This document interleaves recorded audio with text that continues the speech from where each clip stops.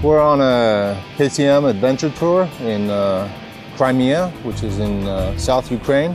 In my country, we're not allowed to ride in terrain, so this is a great vacation where we get to ride anywhere we want. I think Crimea is one of the best area to ride enduro because we have everything here. Forest, mountains, uphills, downhills. Sometimes we have sun, sometimes a little bit of rain, which makes things muddy and slippery and interesting. There are a lot of rocks, a lot of stones. There's huge hills to climb. There's uh, sandy, fast tracks through the forests. Uh, we've gone up to monuments overlooking the Black Sea, and we've ridden down to the beach.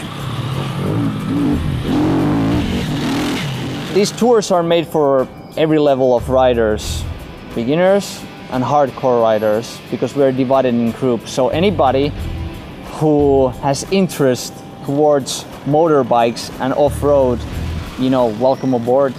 The last bike I had was a road bike. Uh, but I haven't ridden off-road in over 20 years, so that was the hard part for me. Uh, a lot of information was thrown at me from the very beginning. Uh, it was like drinking water out of a fire hydrant, uh, but there has been some really good instructors on this trip, and they gave me some really good pointers that eventually sunk in. So every day that I've ridden, I feel like I've gotten a little bit better and a little bit more comfortable on the bike.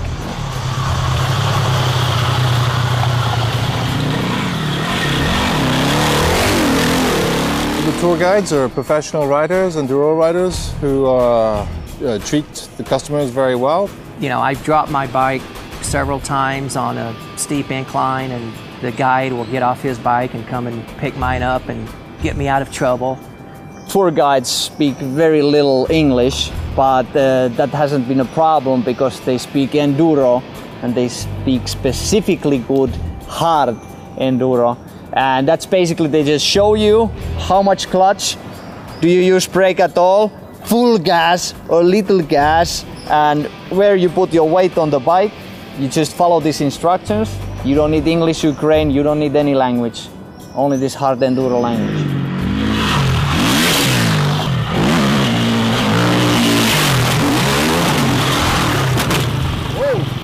I'd say the best moments for me were the hill climbs.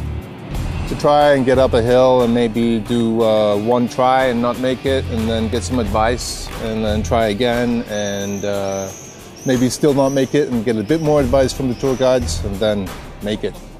So I have probably dropped the bike a thousand times and uh, tried to get up these uh, crazy hills and it's been very satisfying the times that I've got up.